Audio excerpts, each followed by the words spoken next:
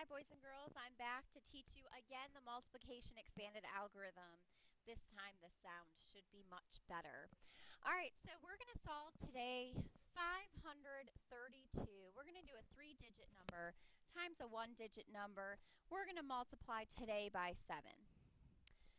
So we want to see if we have 532 groups of 7, we want to know what our total is. Well, our first step is to set up our problem.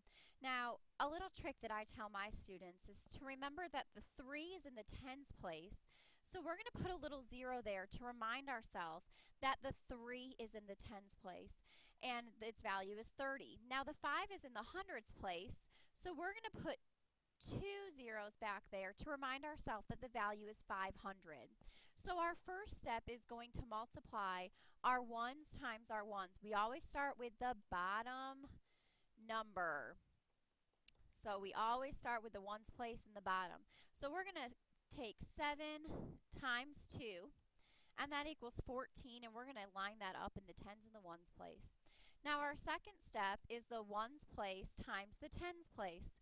So we're going to take 7 times 30, because it's in the tens place, and we can cross out the 0, put it in the ones place, because 0 times any number is going to be 0, so there's no ones, and 7 times 3 is 21.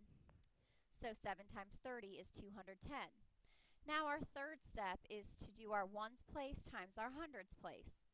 So we're going to take 7 again because we start with our bottom number times 500 because the 5 is in the hundreds place.